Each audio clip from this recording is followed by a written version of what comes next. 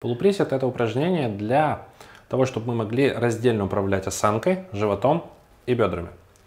Для практики нам нужен участок стены без бордюров или с минимальным, как здесь, 5 мм.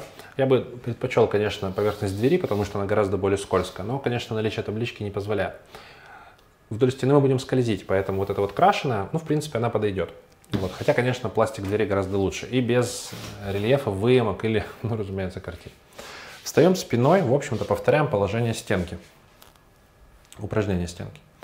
Я прижимаю пятки, проверяю вот так вот свернутой рукой, кладу ее под поясницу. Это я проверяю поясничный прогиб. Раскрываю лопатки, убираю руку. Затылком можно не прижиматься.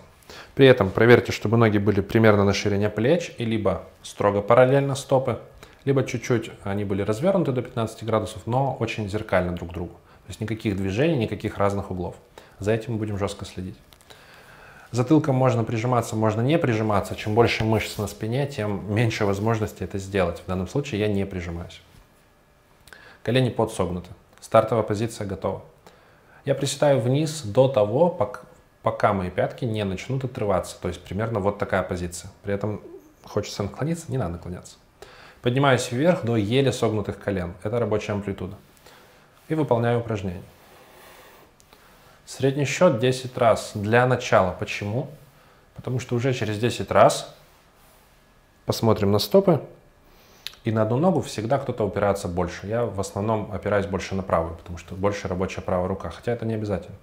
Я должен проверить, чтобы строгость положения стоп была полной. И продолжить. Сейчас вот я снимаю после рабочего дня и, конечно, чувствую, что в теле моем асимметрии достаточно много остаточные спазмы и прочие вещи. Но ничего. Вот я сделал, проверяю стопы и стало ровнее. Поправил ноги и делаю еще раз. Нужно дышать.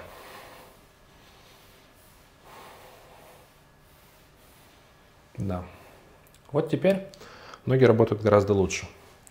Разумеется, практика должна быть ежедневно. Если вы все делаете правильно, то без особых напряжений у вас включается живот, особенно его нижняя часть. Вы начинаете дышать, у вас работают ноги, бедра, голени. И колени болеть не должны. Если болят колени, значит все-таки стопа стоит неровно, очень много спазмов. Но это все отработается. В результате получаем работу диафрагмы, но не тоническую, то есть спазм, а амплитудную в дыхании. Ей помогает нижняя мочеполовая диафрагма, плюс осанка позволяет по максимуму настроиться симметрии всех мышц.